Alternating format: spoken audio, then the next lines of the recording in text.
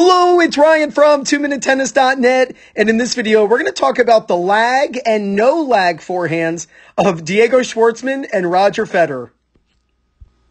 Now, on the left, this video is courtesy of Liam Apilado over at Court Level Tennis. Thank you so much, Liam. And on the right, this is courtesy of 12KGP Tennis. Both channels on YouTube. Make sure you subscribe to their awesome channels. I put their links in the description below. All right. Diego Schwartzman on the left, Roger Federer on the right. So, Right off the bat, we want to know that they're using different grips on these forehands. So semi-western on the left here with Diego and an eastern on the right. So what you need to know with that is when it comes to the contact point, their palms are facing in different places.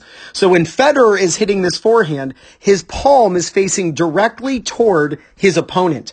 And with Diego, when he's hitting the forehand, his palm is facing up at 45 degrees. When the racket is the same between the, the shots, then the palm is the difference. And so Diego's palm is facing up at 45 degrees because it's a semi-western and Federer's palm is facing forward. Typically, the higher the contact, for amateurs, the more likely they will like to use a semi-western or even possibly full western. And the lower the contact, the more likely they will enjoy using an eastern grip. So if you're someone who plays on clay a lot, it might actually be in your best interest to use a semi-western grip because you're going to have to be dealing with higher balls on that surface. So let's look at their turn. And you can see right away that Diego has a higher turn. If we just look at the tip of his racket and then we look at Federer's, the tip of Federer's racket is very much at the top of his head when he takes the racket back. Goes a little higher than that line, but that's basically the height of his turn. Where you can see Diego goes much, much higher. Now this is really because of the difference they're going to be using in their swing. And let's get right to it. This is the no lag forehand, and this is the lag forehand. And don't get confused. I'm not using red because it's wrong and green because this is right. It's really going to be personal preference for what you feel helps you hit your best forehands. But you'll notice as they begin dropping their racket, they're really using two different techniques. If we look at Federer, look how his arm is bent. And then as he drops his racket, his arm straightens. So it's like he's pushing his palm down toward the ground. And as he does this, the tip of his racket is pointing off to the right. When you look at Diego Schwartzman on the left, you'll see that he's not straightening his arm down, but actually reaching back to the camera. And we can see that the tip of his racket is actually pointing right at us, right? So he is not dropping the racket like we see with Federer with the tip of the racket pointing off to the right, which would mean the tip of the racket's pointing here if it correlates with with uh, Diego. It's not doing that. When he's dropping his racket, he's dropping his racket much more like um, uh, uh, Del Potro, Serena Williams. Uh, you look at even like 20 years ago, Lleyton Hewitt. This is the type of forehand that was used uh, predominantly years ago, and it makes for an absolutely fantastic forehand, especially for amateurs to copy because of the simplicity. If we look at Federer here, when he drops the racket, and really it's a straightening of the arm from bent arm to straight arm, when he does this, the racket is not in position to hit the ball at this point. So he is going to have to let the racket head go back because his hand goes forward. Look at Federer as his body rotates and his hand comes forward. All of a sudden, the two of them look very similar now. They're in very similar positions, but here they're very different. And they get similar because they both pull their hand forward. But Federer's, because the tip of his racket was pointing off to the right, he gets a really big lag. If we actually compare these positions right here, I want you to notice that Diego's racket is going to go this direction, but Federer's racket is about to go this direction. It's very cool. Watch this. Diego's racket goes to the right. So look at this. But Federer's racket, it actually goes this way. There's more lag and more stretching of the forearm, which is really going to activate that forearm in hand as the racket goes through contact to produce a tremendous amount of racket speed. Not all racket speed is controllable though. And if you try this, you might find that your forehands get worse, even though you are using the quote unquote Roger Federer technique. So I encourage you to use both types of forehands.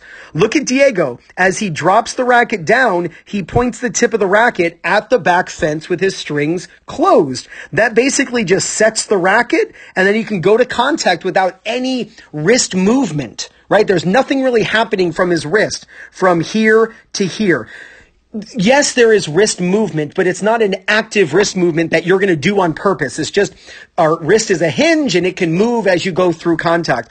But if you look at Federer, he has a big uh, pre-stretch of the forearm because the racket is on the outside of his hand and it has to lag back as his hand goes forward. So many players attempt this Roger Federer forehand and boy, can they do it, but their forehand gets worse. So it's important that you truly attempt both on your own and see what works best for you. I would recommend for most players that they use the Diego Schwartzman forehand uh, or that uh, Del Potro forehand or the Serena Williams forehand, where as the racket falls, the tip of the racket points to the back curtain, just because it's so much easier. And yes, you can absolutely crush the ball. We all know that Del Potro can smack a forehand, and he doesn't hit the same type of forehand that Federer does. The benefit of the Federer forehand is you can use an actually smaller swing and produce the same amount of racket speed. But just because you're using that racket speed doesn't mean that you can control it or it helps you play your best. So again, buyer buyer beware when you're using the Federer for him. But the small swing with Federer allows him with the with the pre-stretch to produce a tremendous amount of racket speed. Another thing you'll notice is Diego's leaning back a little bit. That is one thing that occurs with a semi-western typically a little more than an eastern. In eastern, you can typically lean in and get your palm to face forward, where with Diego he's very much leaning back, trying to get his palm to face up a little bit. So leaning back can actually help his palm to face up so his strings face forward over the net and watch their follow throughs. You'll look at Diego. Notice right here. This is a great view of it. Be- these two frames. Notice with Diego, his racket is higher than his head. No, notice his racket is visible the whole time. It never, you know, goes out of the frame. But look at Federer. His racket actually follows through a little more across and it's basically below head level. So if I explain it this way, Diego's racket is going above the yellow line where Federer's racket is going below the yellow line. I am a big fan of the racket going above the yellow line, above your head from the back view. It just helps you get the spin you're looking for and the net clearance for depth and then they follow through. So the lower turn is, is primarily how you'll see pre-stretch players use uh, their technique. They can actually use a smaller swing and still produce the racket speed. Where the bigger swing with Diego is typically for the non-pre-stretch players. They both tilt their strings down, but this is more of that pat the dog look that you hear from Rick Macci, where the tip of the racket is pointing off to the right. Diego is basically setting the, the wrist position already where Federer still has to set the wrist from this point, and that late wrist set produces a ton of forearm pre-stretch that can really produce a lot of racket speed. And then again, the more across follow through with Federer and the more upward follow through with Diego. Now, to help me demonstrate these four hands, I've got the Topspin Pro here. You know what to do. Check out my affiliate link in the description below. I'll even pin it in the first comment. It would mean the world to me if I've ever given you value here on YouTube whatsoever if you were to use my affiliate link to get a Topspin Pro for at-home practice. So thank you so much. All right, the Federer forehand. When Federer hits the forehand, his palm is facing forward as he's striking the ball because your palm facing forward is the Eastern forehand grip. Your knuckle and heel pad are on the back panel, which is panel number three. Eastern forehand grip, awesome for crushing a ball. You can hit spin with it as well, but it, it, really allows you to flatten that ball out beautifully. And a couple of weeks ago, I made a video on that exact thing. I'll, I'll pin that in the, in the um, or I'll put that in the description below, that video about different contact points and learning new grips on the forehand. So when Federer turns, he turns lower than Diego. So this is what I call two heads are better than one or two-headed monster. His head and the racket head are very much similar heights. When he turns, his hand is slightly below shoulder level. And then from here, you see Federer straighten his arm. So uh, when a lot of players drop the racket, they drop the racket down in the back. Federer's more pushing down, almost like you know you're dunking someone in a pool. You know what I mean? Like you're pushing their head down underwater, and that's kind of the idea. It's this move. You see Federer's arm straighten as it's going down and beginning to go down. He's pointing the tip of the racket off to the right. When the tip of the racket is pointing off to the right, and then as it's dropping, you turn. That creates a lag where your body rotates, it pulls the hitting arm forward, and you get this snap back with the racket. Now, a mistake that players often make when they're trying to mimic the Roger Federer forehand is they drop and then snap the racket back without the body rotation. Well, then you're not doing anything. You're just, you're tight and you're actively throwing the racket head back. You've got to be super loose, and as you drop, you rotate, and that throws the racket head back. When you do this, you've got to have your racket face closed at this point. That's vital so that your racket can be square against the back of the ball or even at just a few degrees closed as you're hitting. And as you rotate, that will stretch the forearm so that when you uh, swing to the ball, the racket head can catch up a little bit, kind of goes, you, the racket lags and then catches up to the racket. You can get a ton of racket speed even with a smaller swing. Now with Federer, after he hit the ball, his racket hits and then he goes a little bit across, a little more across than I would recommend actually for most amateur players.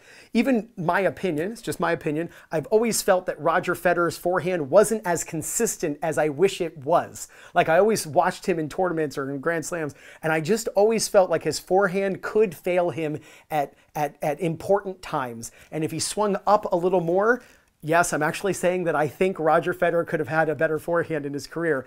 If he were to have swung up a little more and have a slightly longer contact point, who knows, maybe he wouldn't have framed as many balls or maybe he would have not missed as many shots. I, I truly believe that if he swung up a little more, he would have had an even better career. Yes, I'm sure I'm going to get comments below about that, about that statement. So when you're looking at the Diego Schwartzman for him, his palm is facing up at 45 degrees with that same racket face. So here's the eastern, here is the semi-western. So when you hold on to the racket, you're holding on to panel four with the knuckle and the heel pad. So that's really great for higher balls. It's usually with kids, you'll see with the higher contact point with kids, they tend to go over to a, a semi-western grip because it's just easier to get your strings to face forward with a higher contact when you're using a semi-western. Now Diego doesn't use that big pre-stretch, obviously, we just saw that. So he uses a slightly bigger swing to create that same amount of racket speed that he's looking for. So he turns a little higher, tip of the racket higher than his head. And I think it does, and correct me if I'm wrong, you can write this in the comments. Doesn't Diego use a slightly longer racket as well? Maybe it's like 27 and a half inches. But when he goes up high, then he drops down, but not with a straightening of the arm, but he drops down by dropping the racket head back, almost back toward the curtain. This is very much like you see Del Potro do, you see Serena Williams do, and Del Potro has a huge forehand. So don't think that the only way to have a big forehand is to use the Federer pre-stretch. It's absolutely not. They call him Thor for a reason. He can absolutely just crush a forehand. Del Potro's forehand is massive. And so when he drops the racket, the racket goes behind. And Diego points the tip of the racket at the at the camera, at the back fence as he drops, but he closes the racket the same. Now, Diego is loose and he is rotating his body at this point, so there is a little bit of lag but it's not the tremendous lag that you see with Federer because as he's dropping, he's setting the racket into position where Federer waits until he's very near the bottom to set. So there's a big quick lag and that gives you a bigger pre-stretch in the forearm. So as he drops the racket, he comes in. It's really a very similar wrist angle as he's going to the ball. You'll see with Diego, he's contacting with leaning back a little bit more. Again, that's just to get the palm to face up. Sometimes they players will lean back a little bit just to have their palm face up so that their strings face forward. If you're hitting like full Western back, uh, full, full, uh, full Western forehands like this, you know, it doesn't really work. Typically with a full Western, which is your palm facing up when you hit the ball, you can see like how players will lean back as a way to get their palm to face up. So it's just understanding how the grips can can change our body position and our desired contact point as well and contact height. So when Diego hits the ball, you could see he swung up a little more and had the follow through be up a little higher. You see that with Nadal. He's got more of that Federer forehand uh, lag, but he also will finish up above his head. I'm a big fan of that. Just gives a little more height, a little more spin. It can give you more depth as well. So what I'm going to do right now is I'm going to demonstrate some Diego Schwartzman forehands. So I'm going to go up, I'm going to drop, and I'm going to hit like this, right? So he's up here, he drops, tip of the racket at the back fence, and then I'm going up. With Federer, I'm going to take the top panel off. That way I can swing a little flatter through the contact. So I turn, I'm going to drop, and then you'll see my racket rotate, and then I'm going more across.